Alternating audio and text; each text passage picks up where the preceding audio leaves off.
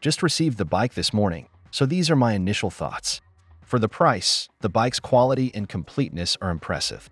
It does have some weight to it, as expected with e-bikes, but that's part of the territory.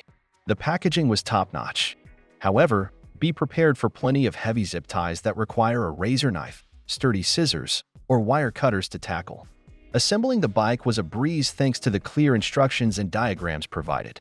Despite taking my time, I managed to put it together in less than 90 minutes. There was just a minor hiccup in the instructions regarding the bolts for the derailleur guard, as they were already screwed into the bike frame instead of being in the box.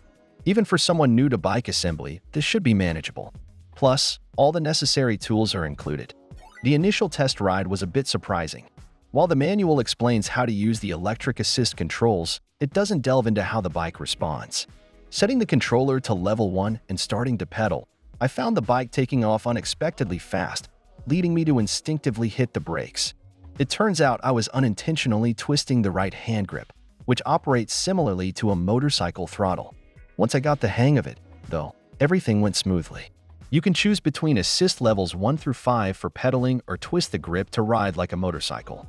Level 1 provides a subtle boost, while level 5 feels like the bike is doing most of the work. Another minor surprise was the lack of deceleration when releasing the hand grip, akin to a gas-powered motorcycle.